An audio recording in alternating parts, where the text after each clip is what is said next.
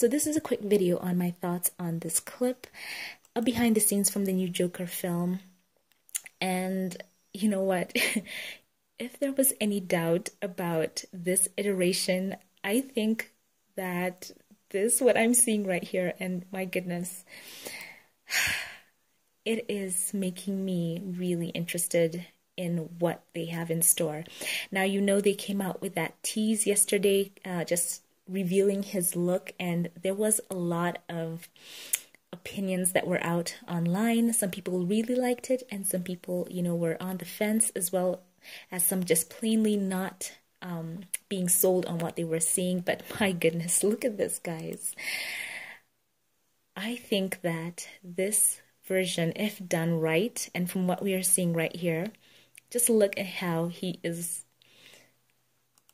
look at how he looks like he's having the time of his life. You know, when he takes off his mask, it's like my work is done. And this is classic, um, a very classic Joker that we have here. I, I feel like it reminds me of that which we have come to know, especially from the cartoons, the 90s cartoons, voiced over by Mark Hamill, and you know, just the way he loved the anarchy, the chaos, and he was having the time of his life in those moments. So, goodness. Um, you know, I think that the way they've made him up, his makeup, that it is just working with what I'm seeing here. And yeah, the comments online are I've just been reading a few of them, and people are like they're gonna buy the Blu ray, that they're excited for this movie now. And I think that if this Joker just sticks to the classic Joker, you know, the one that we all know and associate with that character, especially what we saw in the Dark Knight trilogy, that was the essence of him. It's not so much the look, but I feel like the essence is being captured here. And I'm going to say this as a by the way. I heard, uh, I read somewhere online, or I think I heard it in a video, that this is going to be an R rated version, and I'm really hoping that it's not. Firstly, because, you know, for comic book lovers out there, I think it's I just think it's not so great when some are locked out by that R rating from, you know, participating in the conversation concerning the film as well as watching it and enjoying it as comic book fans. And also, you don't have to go R for it to have depth, for it to be fun, for it to be something that, you know, is impactful. I think the Dark Knight trilogy proved that. So that's just as a by the way. But my goodness, look at this, guys.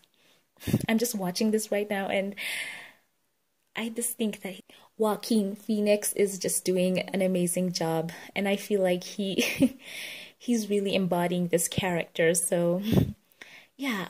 You know, when I heard they were gonna do another version of the Joker, my first thought was, what is DC doing? You know, the continuity was a first issue that came to my mind.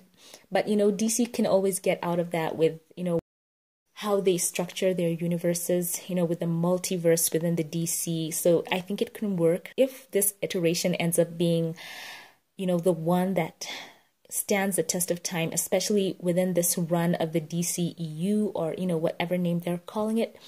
I think they're going to want to integrate it in the main universe, and I'm sure they, they might find a way. Who knows?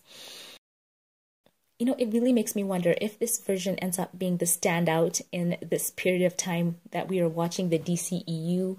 What will they do if this is the one that everyone gravitates towards?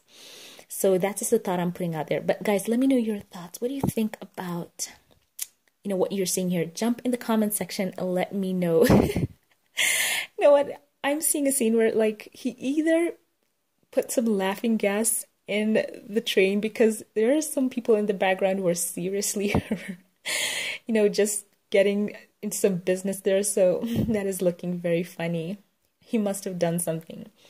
But yeah, that's this is by the way, this looks really, really fun. And yeah, I really want to see this film. And I'm hoping, as I said before, it's not R rated. Just putting that out there. So let me know what you think once more in the comments section. Um, are you looking forward to this film? Let me know all your thoughts. And also be on the lookout for more fun videos and reactions that Captain Marvel trailer. I reacted to it, so be on the lookout. Check the cards or the end screen for those links. And once again, let me know your thoughts in the comment section. Give this video a like, subscribe, it does help out my channel, and I will catch you in the next one. Have a blessed one.